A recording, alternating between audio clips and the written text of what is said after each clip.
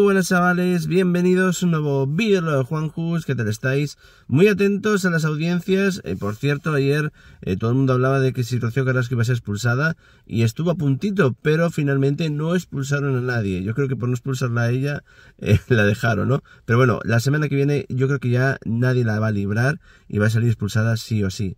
No deja de ser muy anecdótico que una persona que no sepa cocinar esté en un programa de cocina y esté llegando tan lejos, pero bueno. por otro lado, también hay que decir que las series de Antena 3 de la tarde, eh, Amar para siempre y la nueva que ha llegado, están funcionando muy bien, pero Amar ya se acaba para siempre, menos mal, y lo digo así porque creo que es muy raro todo lo que pasó cuando se cambió de cadena y eh, aunque la gente no lo quiera ver, es una vergüenza mm, que algunas cosas de la tele siempre pasen por politiqueo y por despachos. Esa serie siempre va a estar sucia en ese sentido, ¿no?